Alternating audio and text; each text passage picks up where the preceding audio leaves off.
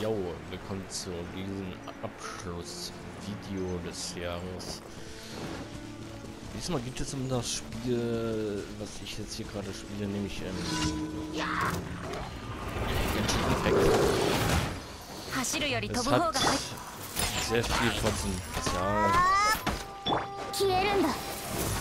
Und äh, ja, ich möchte mal was in den letzten Jahren passiert ist.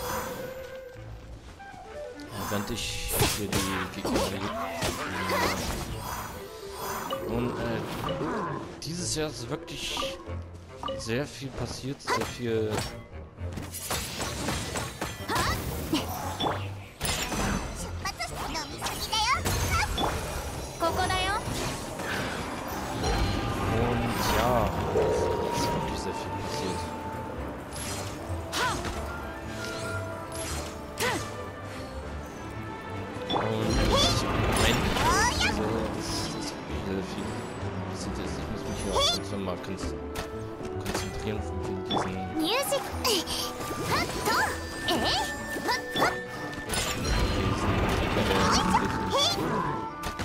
Hat.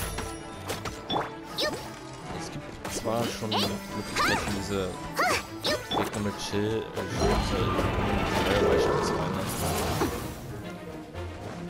Dafür müsste ich dann erstmal wieder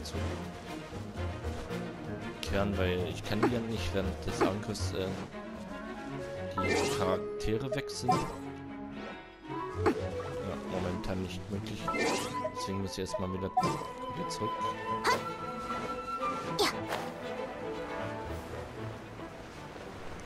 Aber jedenfalls, das äh, dieses jetzt wirklich das schlimmste.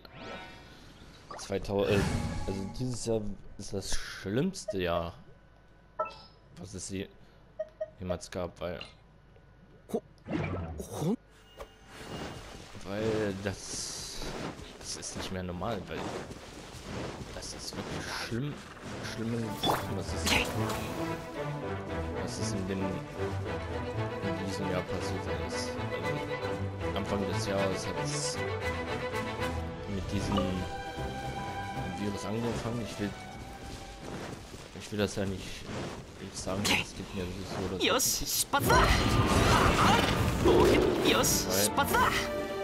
Der, äh, der, der,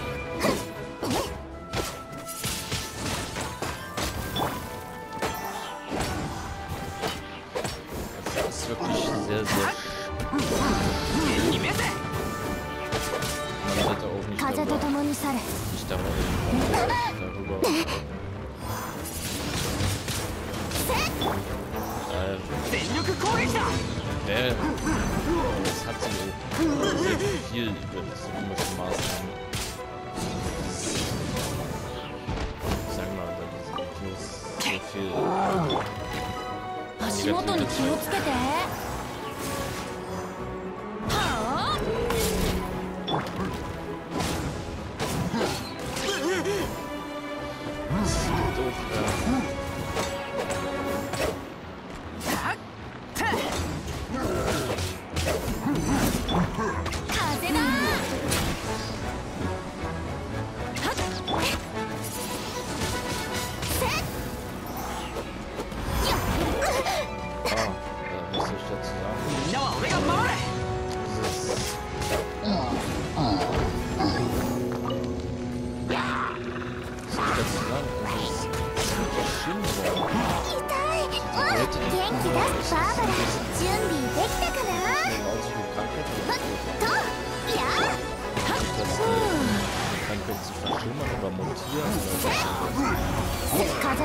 され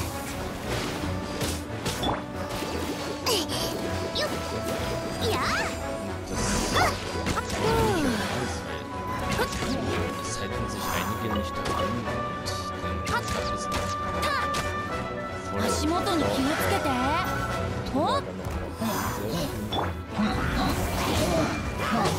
schlimmen großen Demo wie Was soll man jetzt sagen? Eine große Demo, die eigentlich passiert ist und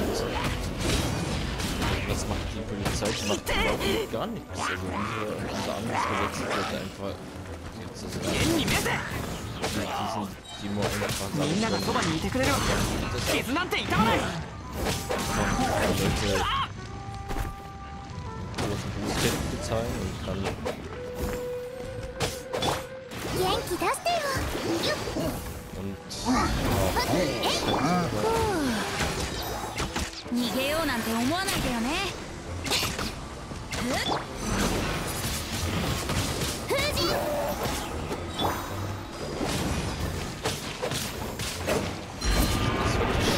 死ぬもん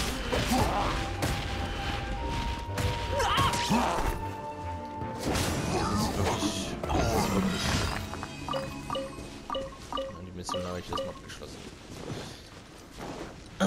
Ja, äh, der Grund ist, ja, es ist wirklich sehr, sehr schlimm. Dieses Jahr. Und nächstes Jahr wird es wahrscheinlich auch nicht, auch nicht besser werden. Der, der, Virus wird wahrscheinlich auch, auch nächstes Jahr mit, mit dabei sein. Also ich kann also ich kann echt nicht fassen, was in den Menschen, in den, äh, also was in den Köpfen der gesamten Menschheit äh, irgendwie. Ich, kann ich ein bisschen schütteln. Also es ist wirklich das schlimmste Jahr aller Zeiten. Was ich sagen kann. Ja, das habe ich auch so, so mit erfahren. Was ist überhaupt in diesem Jahr überhaupt passiert? Ja, Anfang des Jahres hat man nur das wenig davon gehört. Und dann ab Februar bis, bis Mai war es gewesen. Da musste man fast äh, drei Monate zu Hause bleiben. Oder in, sagen wir mal, in Quarantäne. Äh, bis äh, August, also, also nach Mai, Juni bis August, kann man sagen, da hat sich es komplett gelockert, weil da war es ziemlich warm, da war es aber man sollte immer darauf immer denken, eine Maske mitzunehmen und äh, immer diese Sache mit Abstand halten. Was ich aber nicht, nicht an den Leuten verstehe. Beispielsweise in Zügen und so weiter. Also ich habe schon sehr viele Tweets bei, bei Twitter gesehen. Also das ist nicht normal.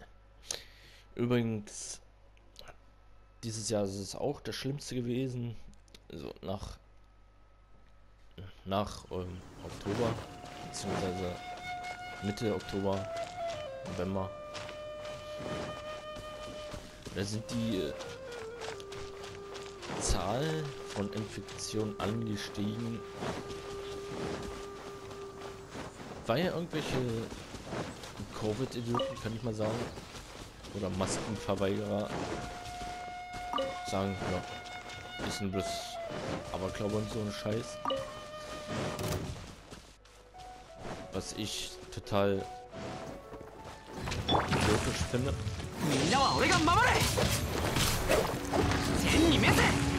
Und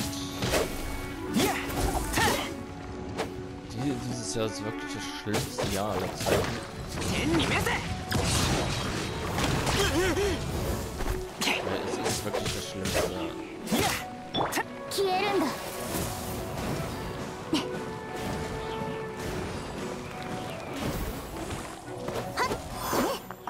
Ist wirklich das schlimmste Jahr. Das es jemals gab. Ich, ich, also ich und meine Eltern, wir halten uns ja daran.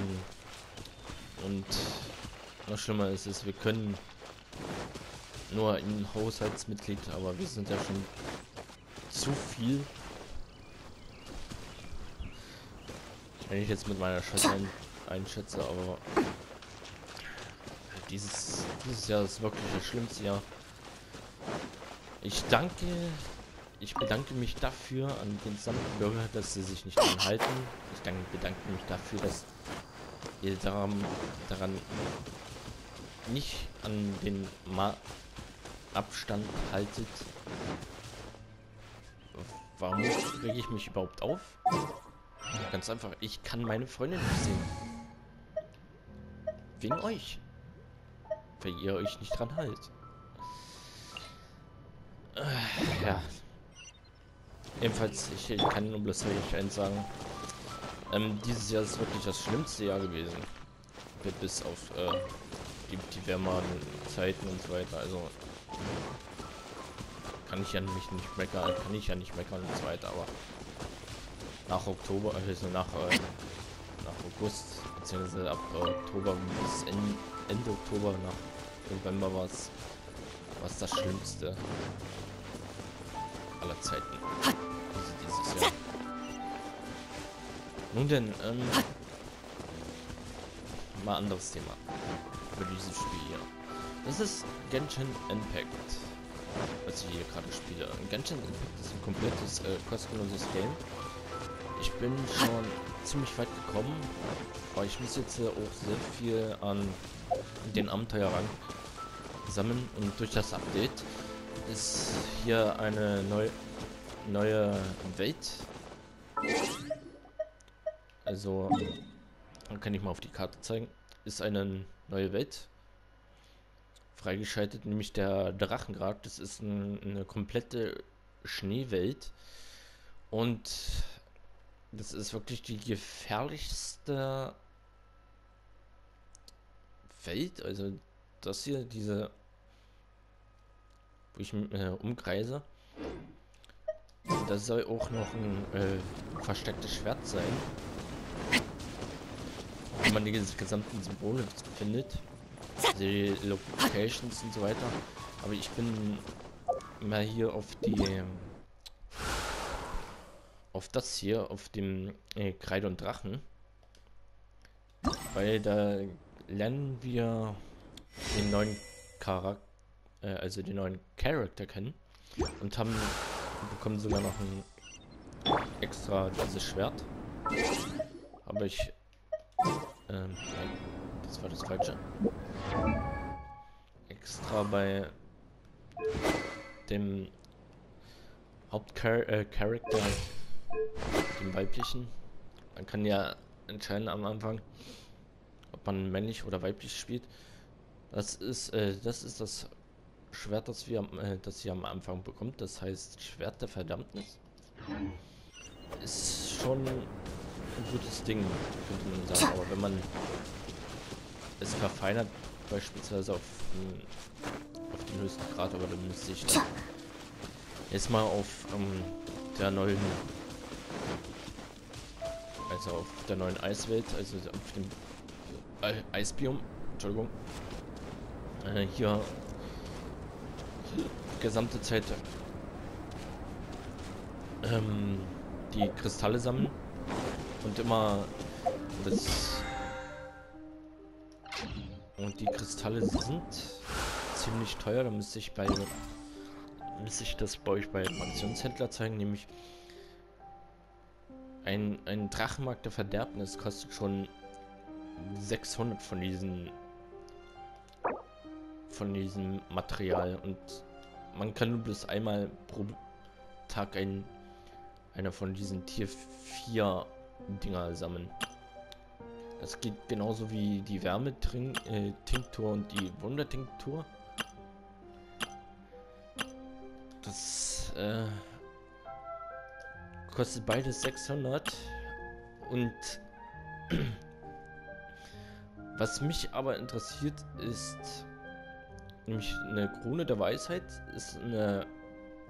Davon habe ich schon eins. Und ich habe sogar noch ähm, den Character Fischl gratis dazu bekommen, weil ich da war ja vorher erst äh, in dem letzten Update ähm, diese komischen Metroiden oder was das ist, da konnte man auch sehr gut sein, seine Abenteuerstufe hochleveln. Aber das Ja, ich frage mich, geht das hier überhaupt, äh, wenn man jetzt äh, beispielsweise einmal so, so ein Ding, also einmal so, so, eine, äh, so ein Schwertprobe schafft, kriegt man da, ja nee, man kriegt nur bloß Belohnungen, aber dafür kein, keine, äh, Am kein Abenteuerrang oder sowas. Ist leider schade, aber ich werde hier weiter versuchen, so gut es geht, die gesamten Symbole zu finden.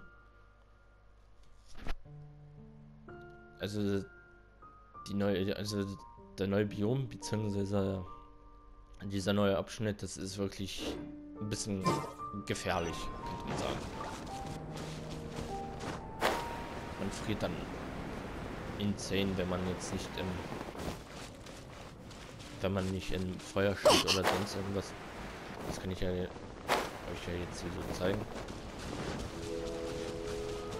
Also man geht direkt ins ähm, neue Biom. Es ist ganz normal, man also wenn man jetzt hier ins Wasser geht, dann sieht man hier unten, da ist ein weißer Balken, oder da kommt ein weißer Balken aus und der das ist ähm, dieses hier. Das ist eine extrem kalte Umgebung. Und die ist extrem kalt. Also da muss man schon ziemlich aufpassen. Wichtig ist es hier bei solchen Feuerstellen zu bleiben. Empfehlenswert ist auch mit ähm, Feuerelementare hier Flammen, also diese Feuer Schächte an, anzuzünden, sonst friert man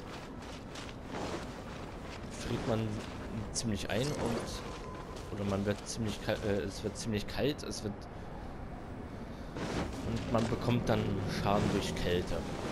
Also das ist wirklich dann ein bisschen krass gemacht worden und meine Konsole hebt ab wie ein, wie ein Düsenjet mal wieder. So, diesen Baum habe ich befreit. Da gibt es solche Küsten. Also der Permafrostbaum, den kann man befreien. Dann muss man hier diese diese äh, tiefroten Quarz heißen sie. Und da muss man jedes Mal auf dieses auf dieses Ding schwächen. Und die ähm, dieses Quarz, das macht irgendwie kann sagen, es macht immens Schaden und es äh, schützt euch so vor der eisigen Kälte. Oh, Ablenkzeit ist abgelaufen und man sieht es ja halt. Es wird wieder kalt. Am besten gibt es auch noch hier diese vier, äh, viereckigen Säulen die sind auch empfehlenswert. Aber hier ist wirklich empfehlenswert mit, einem Feuer mit einem Feuerelementar herumzulaufen.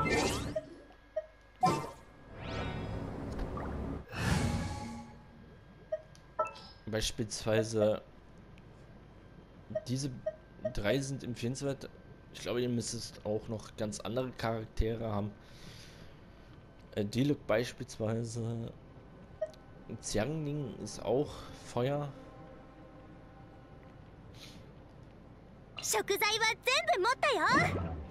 Aber die ist viel empfehlenswerter, denke ich mal.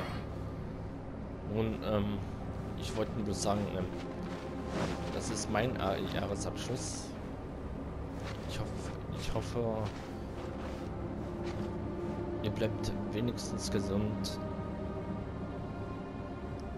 Im guten Start ins neue Jahr. Ich hoffe, man sieht euch, man sieht sich bis äh, die Tage und so weiter. Also bleibt gesund. Macht's gut.